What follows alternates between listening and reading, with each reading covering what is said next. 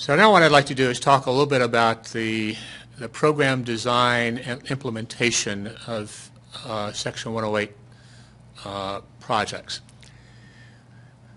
Basically, we get applications that have uh, either a specific project identified and the design then focuses on that individual project. The application has to provide the detail and specificity that we need in order to determine whether the, the project is eligible, meets national objectives requirements, and so forth, and also whether uh, it will meet our underwriting standards.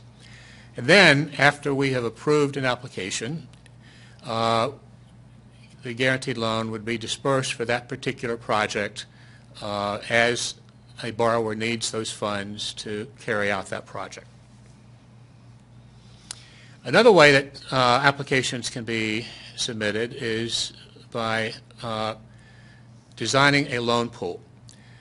And what this means is that the application describes um, in a generic fashion the, uh, the activities that are going to be carried out, the kinds of activities, how you will establish the guidelines and, and rules that you'll follow in selecting activities to be carried out, and uh, how it will meet our national objectives, requirements, and public benefit standards. Uh, the individual transaction uh, don't have to be identified, although in some cases they are. Some of the some of the transactions are already known and will be carried out. But we prefer that the uh, the, the loan pool applications only be submitted after the, uh, the recipient and the applicant has identified some projects to be that it wishes to carry out. Um, in any event, after when you are ready to carry out an activity under one of these loan pool projects, uh, you will have to submit to the field office having jurisdiction for the CDBG program information about how the, the activity will meet a national objective and other program requirements and get a determination of program compliance before we and headquarters will begin uh, the process for providing financing for that particular activity. In connection with all of our loans, uh, we are beginning, uh, want to emphasize the underwriting function. Uh, and this is becoming more important as uh, we're finding out the, uh, there are too many situations where uh, loans were not adequately underwritten and, and projects have not produced the kind of payback that uh, was expected. So we want our, our borrowers to go through a process, an underwriting process, that identifies the risk associated with a particular loan, that establishes the loan terms and conditions that will design uh, will be designed to mitigate those risks and then proceed with a project only after the underwriting has been completed. Next slide. Remember that the underwriting uh, process has to occur for each and every loan. It's not just a matter of having establishing underwriting guidelines for a portfolio. You have to apply those to each and every loan. Some loans are going to be riskier than others if you're carrying out a loan pool project. And if you're doing that, uh, you really have to weight the portfolio so that there's a balance of, of uh, larger or solid loans and smaller loans or less uh, or more risky loans so that they offset each other. That's one of the advantages of having a loan pool project. You can uh, establish a portfolio, diversify the portfolio so that the, the risk of one project is balanced by, the, uh, by other projects that are less likely to be, uh, to be problems. Uh, you may want to carry out a, a riskier loan that, because it has a greater value to you, to the community. It will, it will provide a, a potential payback that will be worth taking that risk. But if you do, you have to find a way to mitigate that risk and uh, demonstrate to HUD that if you want to fund it with Section 108, that the loan will, will still be, uh, Section 108 loan will still be paid back. Next slide. So these are the basic considerations, and we're not going to go into great detail on underwriting here because uh, one of the things that we want to talk about a little bit later on uh, some of the products that we're going to roll out uh, for technical assistance purposes. And one of those will be uh, an underwriting, uh, another webinar that will focus on underwriting. And we're also going to provide some uh, underwriting guidelines and manuals to be posted on our website. But uh, these are the basic considerations. You want to make sure that the project is feasible. Do you have site control, for example? Can you, uh, can a developer, if it's a third-party project, can a developer build what the developer wants to build where they want to build it? Uh, we're going to look at financial feasibility. You want to make sure that there are enough committed sources of funds to cover all of the uh, cost of the project, and that the individual activity will generate a sufficient cash flow to, to repay the loan. You also want to look in connection with the whole process. You want to look at the market feasibility uh, to make sure that there's a, a demand for the, uh, for the activity that's going to be, going to be carried out. Then you want to look at the management capacity, uh, both for you as the recipient and your ability to manage the loan, but really focus on the skills and experiences of, of the experience of the borrowers, the third-party borrowers, to manage the project and make sure that it gets carried out as uh, intended. And lastly, we want to look at uh, collateral in case the cash flow from the project isn't sufficient. And the collateral can be uh, of many types, as, as, we'll get into a little bit later, but uh, basically you want to make sure that if the cash flow can't uh, repay the Section 108 loan, that the collateral will be there to do that. Pointing out, I would also like to point out that HUD has established guidelines in addition to the ones we'll be talking about later, uh, guidelines for uh, evaluating and selecting economic development projects, and they're uh, an Appendix A of our regulations, uh, uh, and they're referenced in 570.209 of the public benefit regulations. Next slide, please. So the guidelines that I talked about that we're going to make available will, will be broken down into two types of uh, loans. One will be uh, focused on real estate loans. These are the de big development projects, apartment buildings, uh, office buildings, shopping centers. These are income-producing projects, and you're looking at that specific project to generate the cash flow that will pay back the loan. And then another category are uh, just simply business loans, for lack of a better term. These are the loans to uh, existing ongoing businesses that will be used for expansion of the business to create more jobs to provide more needed services. Next slide, please. So with real estate loans, uh, the, the guidelines will be broken down more or less like this. Uh, there'll be a You'll need to do a borrower evaluation. You want to know that the borrower, the third-party borrower comes to you is a, a sound credit. You want to know that they have good character. You want to know that they're credit worthy. You're going to check uh, their experience uh, in carrying out uh, similar types of project. Do they have the capacity to do that? These kinds of things. Then you're going to do a market analysis of the property. You're going to do a property appraisal, and then you're going to determine whether the pro uh, what the status of the project is. Is it ready to go? Do you have all of the funding sources in place? Do you have site control? Uh, do you have everything in place? Uh, the zoning requirements met. Do you have everything in place to be able to carry out the project? Uh, then you'll do a project financial analysis. Uh, you will develop uh, pro forma uh, financial statements, looking at uh, sources, various sources.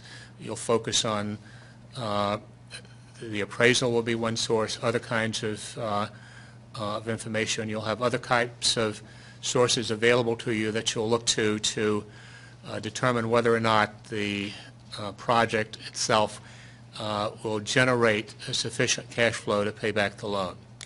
And then finally, again, you're going to do the collateral analysis making sure that uh, you have the type of collateral that you need, whether usually for these kinds of projects that is a lien on property, but you can also supplement that with other types of collateral such as personal or corporate guarantees. Uh, and another thing to keep in mind is oftentimes these projects, and usually they do, have uh, multiple sources of financing.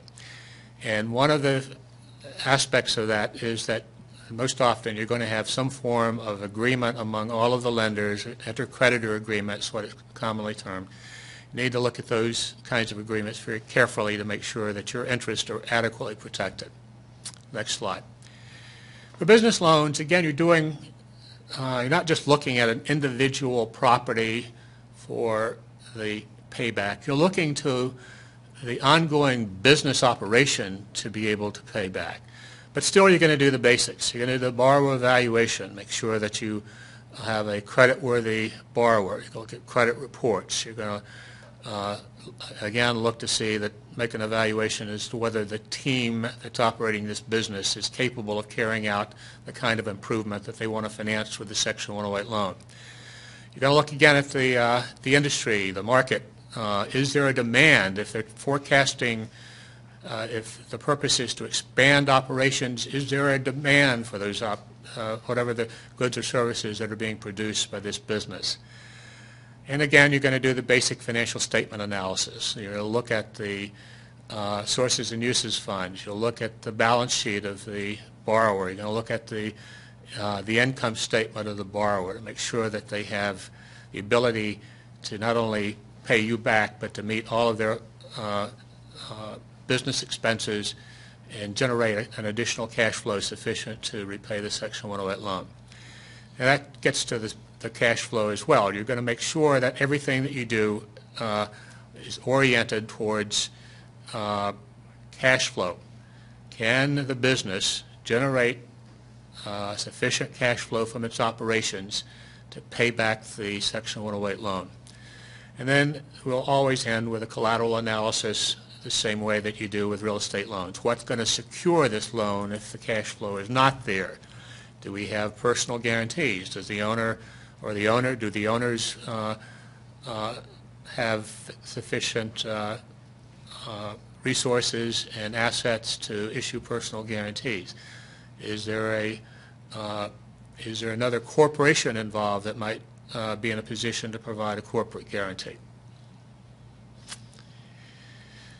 So um, with that, uh, we're going to talk about some program examples and Great. Thank, thank you, Paul. We're going to look at two different examples.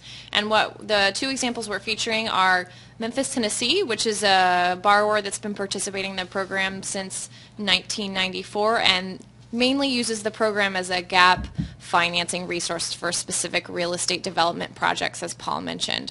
And then we're also going to discuss a newer borrower, which is St. Louis County, Missouri, and hear from Jeremy Newberg, who is actually from Capital Access and working there with the county as they set up their loan pool program. So we're going to launch a video from Memphis first. Good afternoon. I'm Debbie Singleton, and I'm the Deputy Director of the City of Memphis Division of Housing and Community Development. And Memphis has been a long-time participant in HUD Section 108 program, and I'm really excited to give you all a little bit of information about our projects that we've done and how Memphis uses the 108 program to focus on projects that we would not normally be able to finance without it. So um, we're going to look at the program in an uh, overview for Memphis. And right now, um, you're looking at a screen that shows that we have been a participant in the program since 1994. When I first came to the Memphis, uh, to the city of Memphis in 1995, we had just closed on our first 108. Uh, we currently have an outstanding principal balance to HUD of $24,830,000, and we're actually in the process of applying for our eighth Section 108 loan, and that's for the Midtown Market at Union and McLean.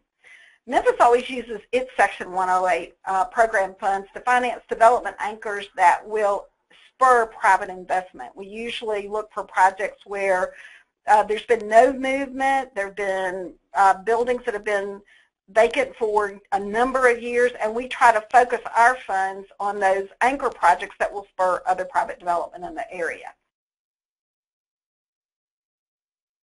Uh, our, I guess our most recent uh, project to be completed is the Bass Pro to Memphis Pyramid, and I hope you all have the opportunity to come in Mem to Memphis and visit uh, the pyramid. Um, it was used to be a sports arena. It was a basketball arena that was um, built for the local university of Memphis. And when it closed down, uh, it sat empty for a really long time. The city of Memphis has partnered with Bass Pro Shops, and we have put one of the largest retail stores in the world into our pyramid. It includes um, shopping for the Bass Pro store, um, a hotel, restaurants, a bowling alley, an archery and gun range, and an outdoor observation deck at its apex. Um, it is probably the most uh, well-done man cave on the planet. Um, it, you would be totally impressed that this used to be a, a, a basketball arena. Uh, and it is probably one of our most successful um, Section 108 projects. We looked at pairing our money with a state program called the Tourism Development Zone uh, and Convention Center Financing Act, uh, whereby the state of Tennessee partners with the local jurisdiction and uh, create a sales tax TIF. The sales taxes that are produced within, a described zone, uh, the incremental increase in those sales taxes is pledged toward the debt. So you can see here we, we were able to finance $105 million with a very small investment from um, the, the 108 and the BEDI grant to pair with the, the sales tax proceeds from the Tourism Development Zone. Whenever we do due diligence for 108 projects, there's there will be we'll look at financial resources. We will look at um, the benefits that come back to the city, and to decide how much of a commitment the city needs to make this project happen, how important it is to the city. And for uh, the, what, the Pyramid Project, there were so many great benefits that city was going to get out of this project. That's why we really felt strongly about making this commitment to this project and to our partner Bass Pro Shops.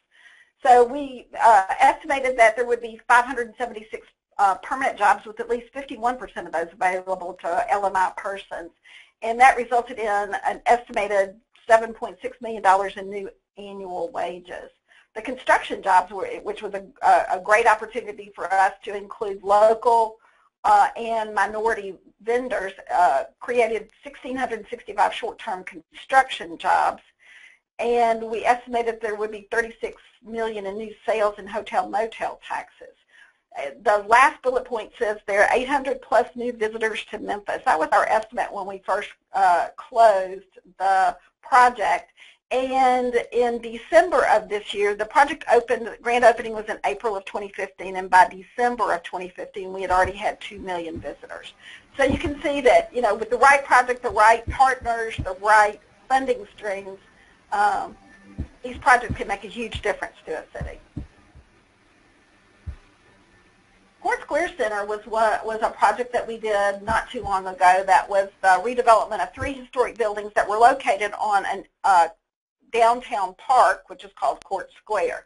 It was a former Lowenstein department store building that was built in the early 20s. Um, the Court Square Annex warehouse, which was just adjacent to that, and the Lincoln American Tower, which was really the first um, skyscraper that was built in Memphis.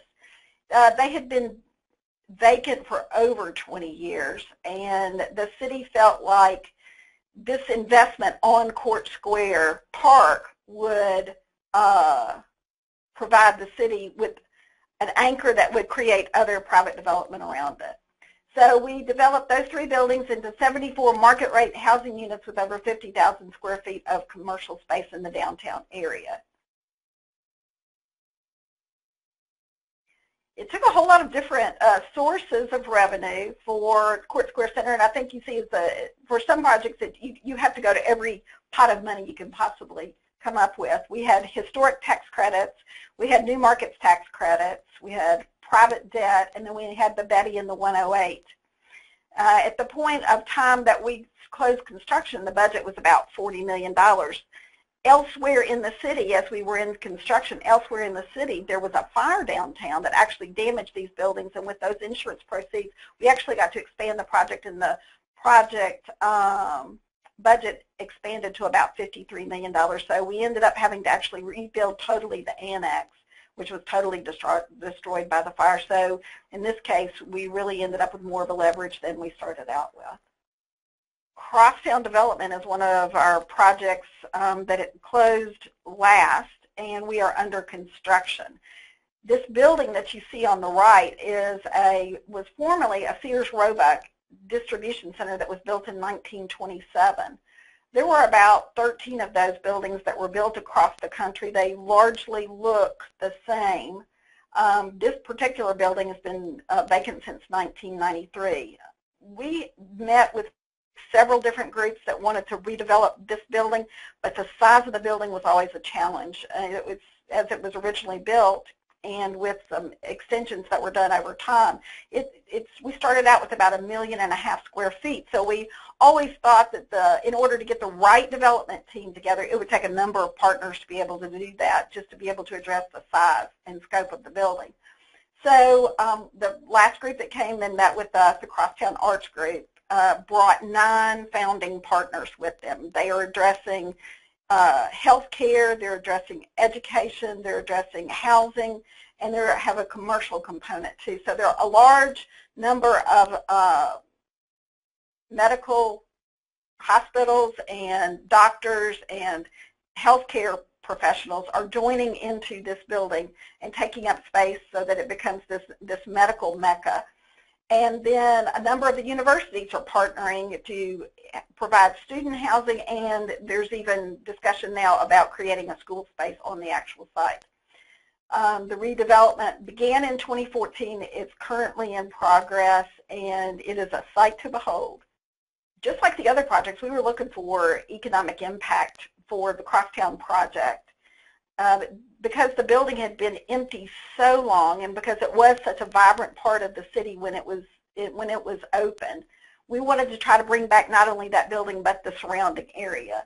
So the 865 jobs you see will be new jobs that are created along with about 1,700 jobs that will be moving to the site that currently exist. The 997 new construction jobs resulting in that $50 million in annual construction wages makes a huge difference to the city as far as um, it, the, the wages that are earned within the city limits. It also created 1,500, over 1,500 new indirect jobs, and it gave us those sales tax benefits over time that became part of this revenue stream that now comes back to the city because of the size of the building, you would expect that the size of the construction project would also be large, and it was. And so we looked to those same different um, sources of funding, and we were extremely fortunate to be able to have a huge number of partners to come in on this project in order for us to be able to um, leverage our BEDI and 108 funds to come up with this $207 million. This is where we were right at about closing because of market conditions. We ended up at about between 198 $200 million on the project. But it, we were lucky that we have a lot of private equity. Historic tax credits and new markets tax credits were also av available. We had private debt and the BEDI and the 108. Also, the city and the county and the state came in with several different uh, programs and sources of funds in order to top out to that $207 million.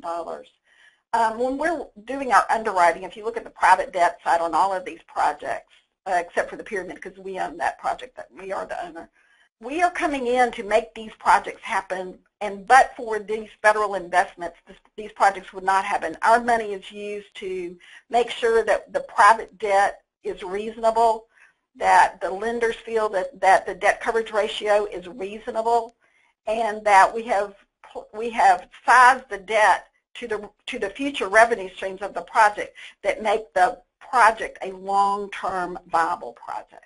So in summary, for us, for the city of Memphis, has always been one of our strongest economic uh, development tools for our division and for our city.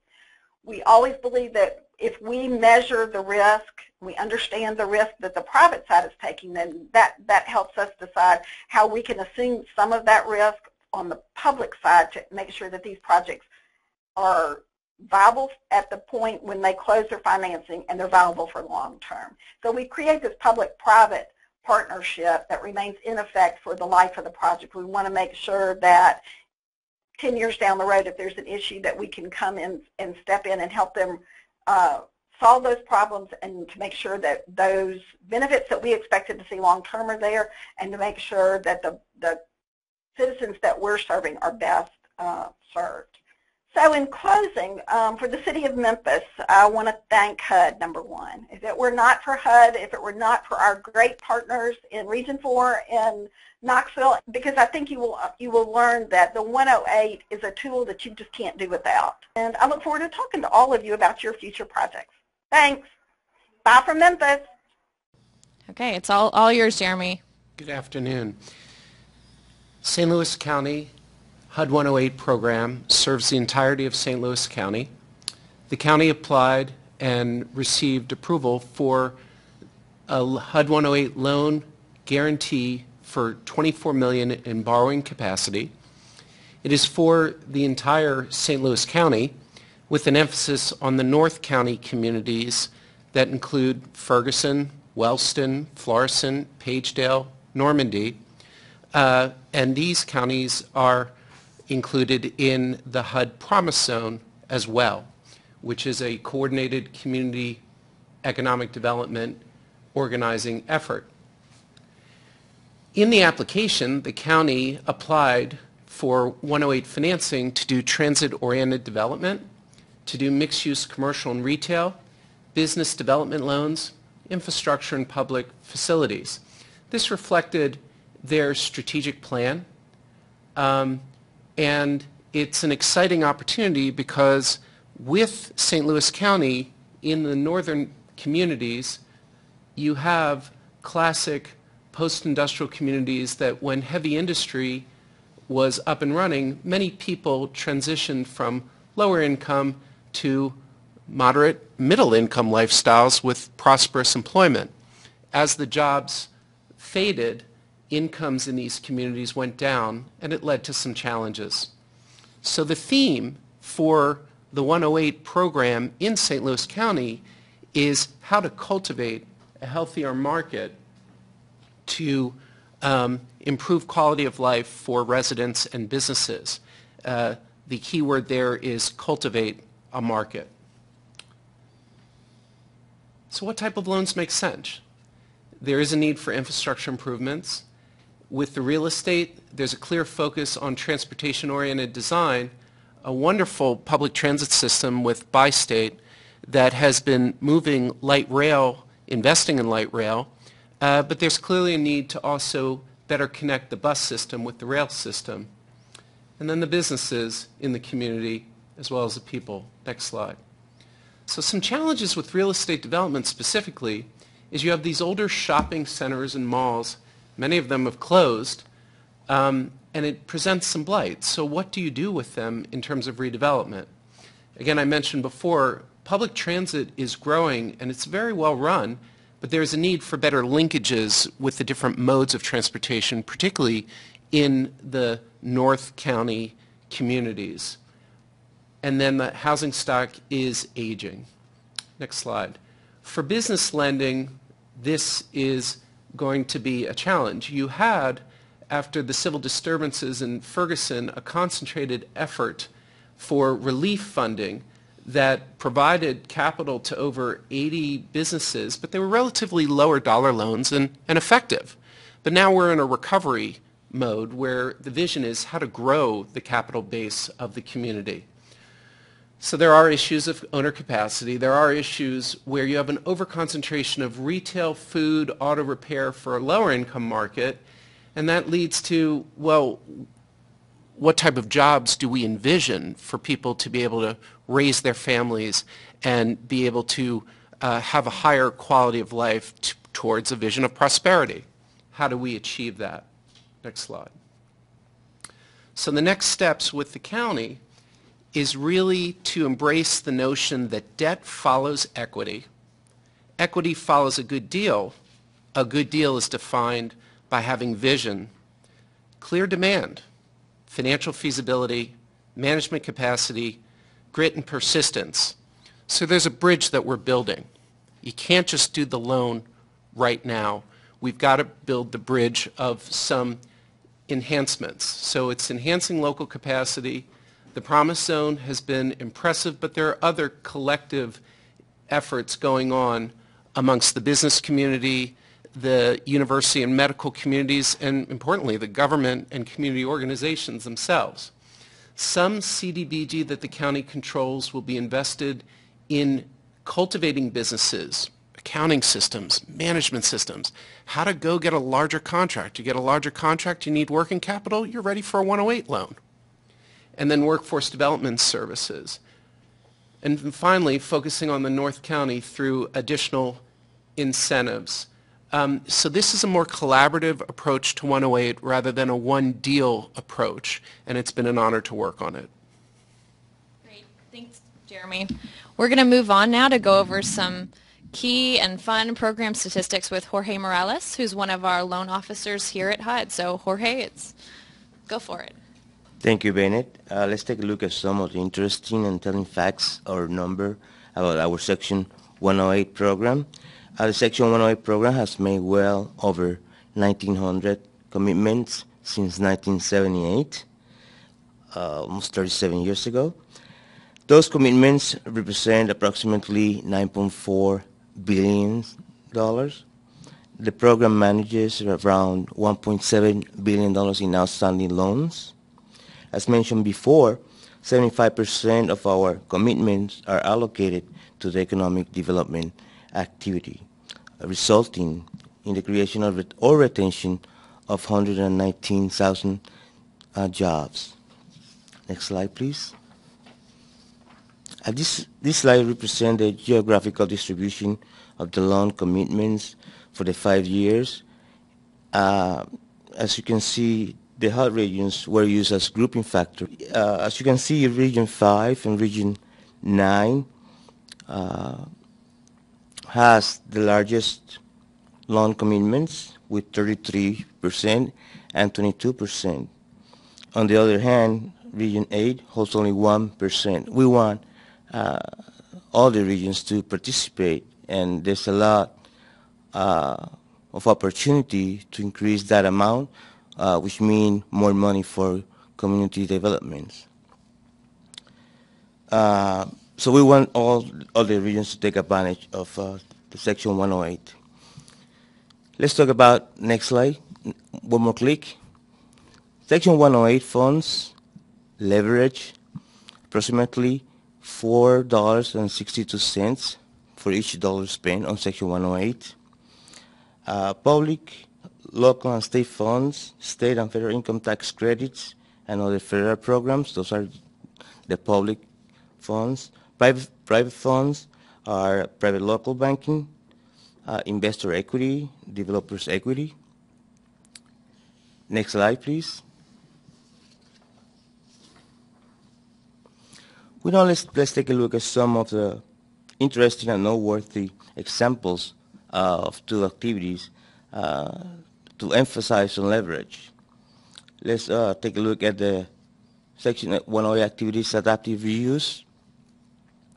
Uh, the definition of adaptive reuse is the process of reusing an old site or building for a purpose other than which it was built or designed for.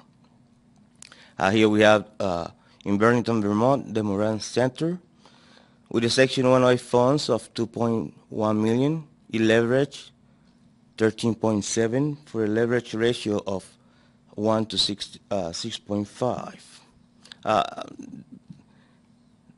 the project is basically a conversion of former manufacturing plant into an educational and recreational site, including sailing, adventure sports, museum, and other amenities. Next slide, please. The next project is the uh, hotel, hotel, hotels development or redevelopment.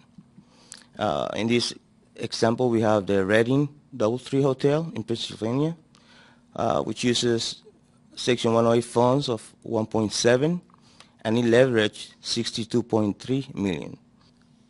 This project in Reading, uh, Reading, excuse me, uh, projected to create 176 jobs. The next project is the Northern Hotel in Green, Green Bay, Wisconsin. uh, takes 4.7 million Section 108 funds and leverage 39.8. And this is for the redevelopment of a building on the National Register into a hotel in a high poverty area. Thank you so much, Jorge. We really appreciate that. It's exciting to see how much Section 108 dollars can leverage. And now I'm passing it to another loan officer, Shaidat Abbas, who's going to tell us about how to apply for a Section 108 loan guarantee. Good afternoon, everyone. So we've covered the overview of the 108 program along with the why, with the why and how it can be used. This slide shows the four entities that can directly apply for 108 financing. The first are those entitlement recipients that receive CDBG block grants. Secondly, states can also apply on behalf of non-entitlement communities that they can distribute the funds to. The third box, the green box, should actually say non-entitlements can apply with state assistance. And last but not least, we have insular areas like Guam, the Virgin Islands, and the American Samoa that can also apply. As a matter of fact, we received our first Insular 108 that was approved in 2015 for Guam. Of the state applicants that can apply, the states that can apply, 39 states currently still have 100% of their borrowing capacity still available. So states out there, you have money that you could apply for, please do so.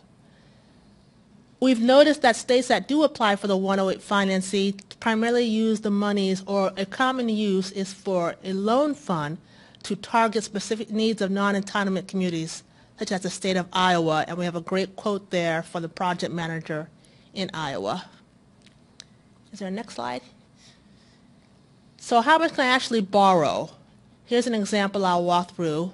If I'm a community and I receive $3 million in annual CDBG allocation, my borrowing capacity, my maximum borrowing capacity is going to be five times that, or $15 million. From that amount, I'm going to subtract my outstanding 108 loan commitments and also subtract my outstanding 108 loan balance. In this case, it's 800,000 and 2 million respectively, leaving me with available borrowing capacity of 12.2 million. Now, we don't have the borrowing capacity for each of our communities on our website currently, so if you need help figuring this out, please don't hesitate to contact us. Next slide. So the application process, this is a brief overview of the application process for the such 108 loan guarantee. First of all, there should be a citizen participation process on the local level, and you should definitely get approval on the local level, either a resolution or a city council meeting to, to approve the, uh, the application for 108. To prepare your application package, I'll go into that in more detail in a section, in a second, and then submit to HUD. You may submit concurrently to the field office and to headquarters at the same time to expedite the review, review, review process. Next slide. So this is a brief overview of what the application package should contain. We are going to do a more detailed webinar about this. So this is just a very brief overview. So firstly, the citizen participation comments and the action plan amendment that incorporates the 108 request should be submitted, along with a detailed project description. You also want to include project financials. Projected is fine. Uh, sources and uses, talking about the fi- other financing that's in the deal. Absolutely include a description of the collateral, as well as an appraisal of the collateral if available at the time. There should be a pledge of your CDBG allocation, a repayment schedule, there's a principal repayment schedule, and should indicate if you want interest only for a while, that is acceptable. And also the source of the repayment of the 108, you should include that as well. The, certifi- the certifications are the same CDBG certifications as well as a few Section 108 specific cert- certifications. And lastly, you want to include any kind of market study or feasibility analysis that supports the viability of this project. And while we don't want to get a thousand page application, any information, the more information you can provide to us, the better. And I'm going to turn over to Bennett to wrap up the presentation. Great, thanks, Shaidat. So just, we, uh, wanted to review, and the reason we're saying going over application right before wrap up and next steps is we'd like to emphasize that, you know, right now CDBG entitlement grantees are only using 25% of their total available borrowing capacity. That means there's almost $8 billion in remaining borrowing capacity with entitlement grantees. And then for states, as Shahidat uh, also emphasized, 93% of the borrowing capacity that states have remain unused. That's because states also only could apply as of um, fairly recently, but 93%, so that's about $4.1 billion in remaining borrowing capacity. So what should you do and what should you check out as next steps? So let's go through some of the upcoming materials that have been referenced during our presentation today. So we, uh, HUD, here in headquarters, as well as our different uh, field offices around the country, offer technical assistance as well as we have several um, tools that are not only on our website now, but we have several tools that will be posted as part of this whole technical um, assistance initiative that this webinar is part of. So one will help you, we can help you determine whether 108 is the right tool or program to meet your community and economic development needs or the right tool for that project you've been thinking about. We'll, we can walk you through the application process, and as Shahidat mentioned, we'll be having a webinar as part of the series that will go over that. It's a pre-recorded one, and it will be posted in the upcoming month or two. We also um, are going to give you information on designing and implementing an effective state or local 108 loan guarantee program as part of that application process webinar. And of course, we can always be here of assistance on reporting and ongoing program compliance. And one of the elements that Paul mentioned was we are also putting out a webinar on two different documents that we're putting out on underwriting guidelines. That's for income producing projects as well as for business or third party loans. So those are all coming out in the next couple months. Uh, so please be paying attention to our website, or you can also sign up for Section 108 listserv messages, so you'll automatically get emailed about anything that's been posted that's new. And of course, feel free to call us in headquarters or call your local field office. And so now we're going to quickly go through some questions that have rolled in during the course of of the webinar and during our Q&A session. So, and let's get started. So um, one of the questions that came in from the audience was, uh, and I'm going to address this to who, whoever is closest to the mic, uh, how long does it take to get a Section 108 loan guarantee program application approved? Well, this is Paul Webster. I'll take that one. Um, the process uh, normally takes about uh, four to eight weeks from the date that the application is submitted to HUD until the actual application approval is, uh, notification is provided. Sometimes it takes longer than that, and if it does, it's because that the application, when it was submitted, did not contain all of the information that is necessary to make a determination whether or not the, uh, the activities are eligible, the underwriting is acceptable, and so forth, and when we have to go back to uh, the applicant for that kind of information that can extend the, the processing time. But it is something which we're constantly focusing on, trying to streamline the application process to make it quicker so that uh, if you have a project that's time sensitive, you don't have to wait uh, an extended period.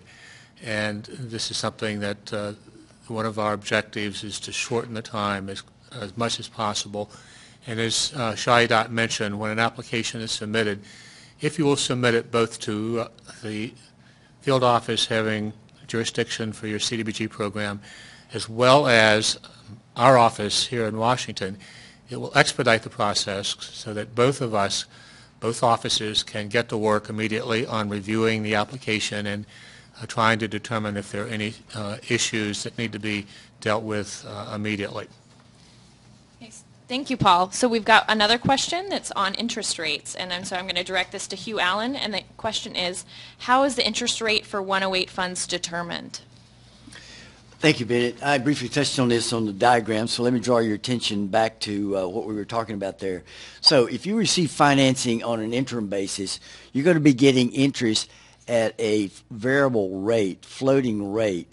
And as I mentioned in the uh, uh, earlier slide, that rate is based on the London Bank Inter uh, excuse me, the London, uh, London Interbank Offering Rate, LIBOR is commonly found. You can find this in all newspapers, and it's based on the three-month LIBOR. So you can check the newspaper and see that. We add a 20 basis points.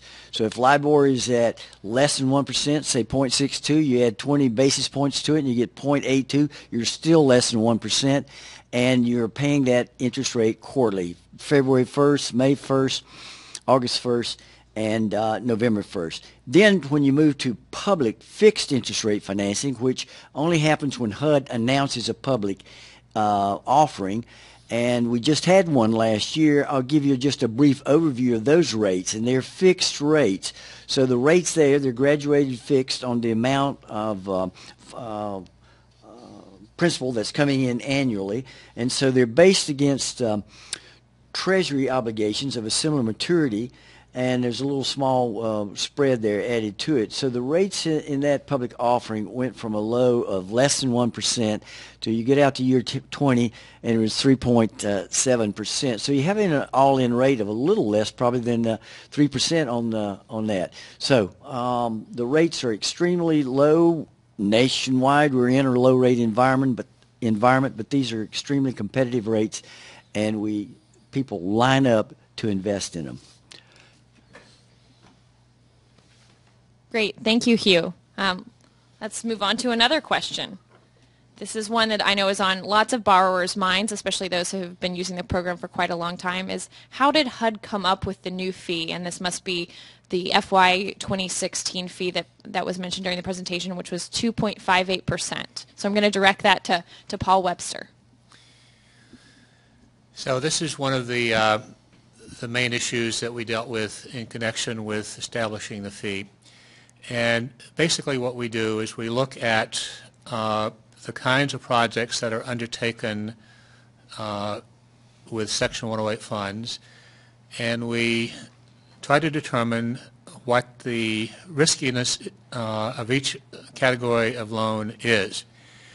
And then we weight the average of all loans based on the portfolio, composition of the portfolio. Most of the loans that uh, are economic development in nature uh, are uh, the, the, best proxy for those we found uh, would be rates on industrial development bonds. And so we use uh, the rates on industrial development, the default rates on recovery rates on uh, industrial development bonds for that portion of the portfolio. Basically, it's about 75% of the portfolio consists of those kinds of loans. We do have some other types of loans which are uh, more like uh, classic uh, municipal debt, uh, non-guaranteed or non-general obligation debt. And there the uh, default rates are somewhat lower, but one of the complicating factors is that we've never had a default on a Section 108 loan that required a payment by HUD under its guarantee. So when you don't have defaults on loans, you don't have uh, history on the individual and the Section 108 program specifically to uh, to fall back on, and when you don't do that, uh, when you don't have that information, you have to use these proxies. The proxy for the uh, the non-industrial development bond type of loan is a little bit less precise than, even though it's lower, we think it's a little bit less precise. So uh, the result is we did we go through a fairly uh, rigorous uh, uh, analysis of the likely default rates, the like the years when the defaults are likely to occur, and then we calculate uh, the net present value of, of uh, the default rates minus the recoveries on collateral. That comes out to 2.58% for this year. Great. Thank you, Paul. And we realize we're getting a lot of questions coming in here at the end. As, as we mentioned, we will follow up with you because we'll have your email through registration. We'll follow up with you directly on your question as well as we'll be putting out an FAQ after the webinar as well. Uh, but I do have another one that we have um, ready to go. So one of the questions we got was, how much can I charge my third-party borrower on my spread what does a typical spread look like? And I'm going to bring back Corey Schwartz, who's one of our loan officers up here, to respond to the question. Thanks, Bennett. There's no typical spread. Um, as the as the borrower and then as a lender or to a third party, you should charge at least enough to cover your Section 108 borrowing cost. Uh, the interest rate charged to the third party borrower should be pegged to the rate on your Section 108 loan uh, to ensure your ability to repay the loan. You may charge a higher rate at a rate over the Section 108 rate to cover the cost of administering the 108 loan. Uh, you can also use the spread to build a reserve to cover delinquencies.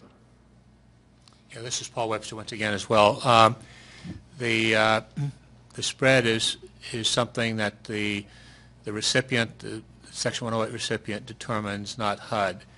But we do, uh, if you're going to pledge that third-party loan as collateral for the Section 108 loan, then we do uh, require that the interest rate on the third-party loan be at least as high as the rate on the Section 108 loan. That's why Corey says you have, you should be pegging the, the rate on the third-party loan to the Section 108 rates, and then add your spread to that.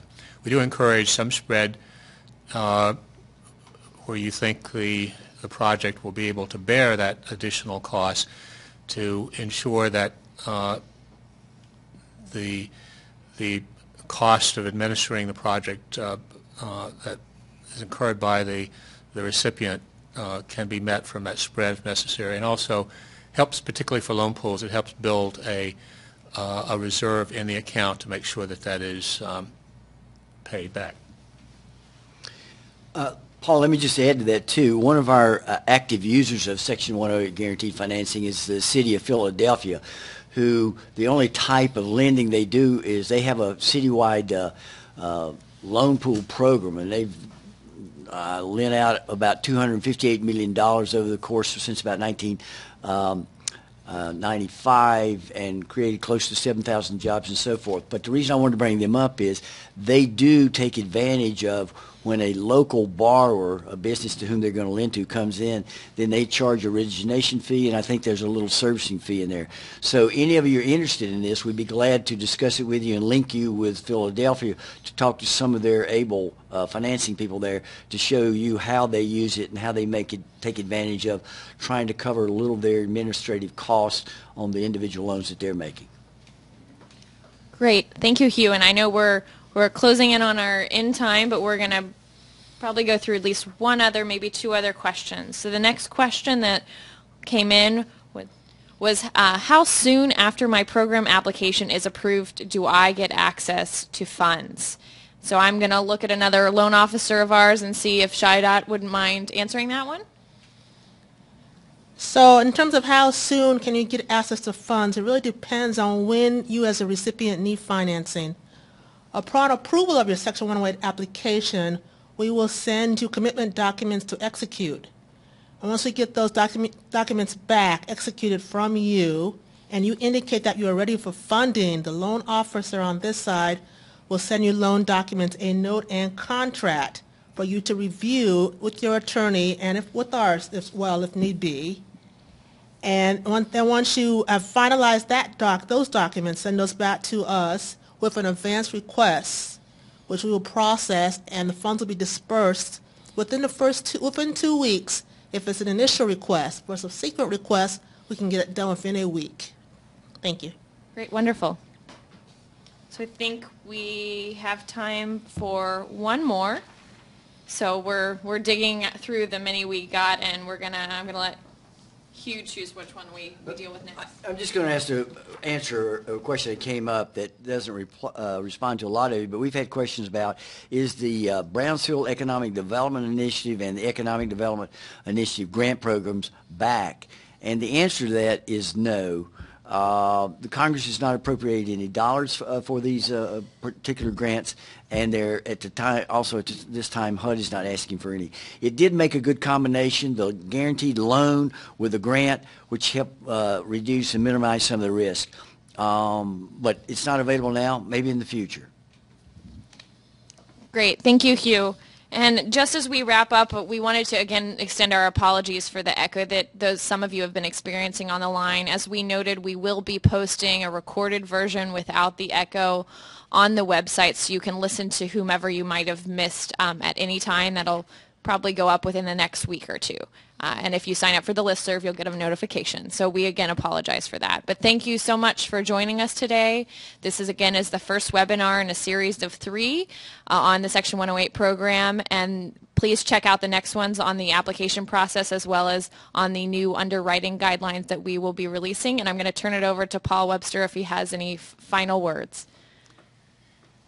Thank you, Bennett, and thanks to all of you who have uh, lasted through this webinar. I uh, realize we tried to cover a lot of uh, material, but uh, one of the things we want to emphasize once again is that uh, this program, while it's not suitable for every situation or every uh, CDBG recipient, is a valuable tool that can help a community that is, or a state that uh, wants to deal with the reduced funding levels by taking by taking advantage of Section 108 to finance the uh, projects that uh, are revenue generating and that can uh, then allow you to preserve your grant funds for other activities that are not revenue generating.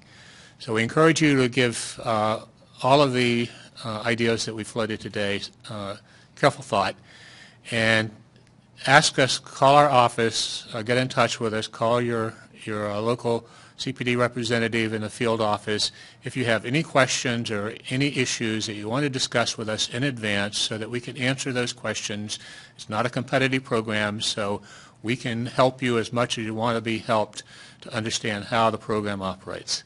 And with that, I want to thank everyone who has contributed to this webinar including Bennett and the rest of my staff, and including our uh, friends from Capital Access who have helped us uh, develop this webinar and who are working on the other two webinars. So I want to thank everyone involved and to thank all of you who have participated. Uh, good evening. Thank you.